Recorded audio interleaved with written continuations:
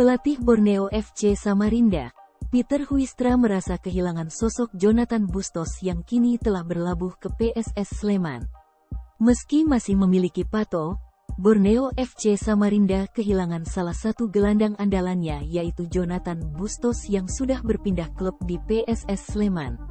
Tentu saja kami tetap memiliki Pato.